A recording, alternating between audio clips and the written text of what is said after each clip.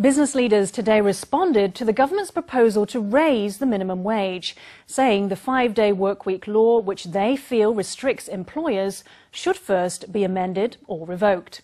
Labour Minister Lin Mei-chu has recently indicated to trade unions that she wants a higher minimum wage, but a consensus is yet to be reached. Government officials have met with business leaders to seek a consensus around a change to the minimum wage. Until the Labour Standards Act is amended, we hope that basically wages will not rise. We stated this clearly at the meeting just now.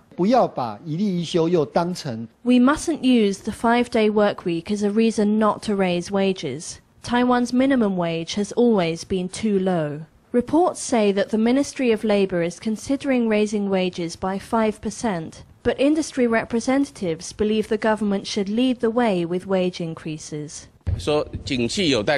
The government says that the economic outlook for next year is still unclear, meaning that business hasn't picked up. If the government really wants industry to raise wages, they should also raise the wages of public sector workers to stimulate a salary rise for the whole population.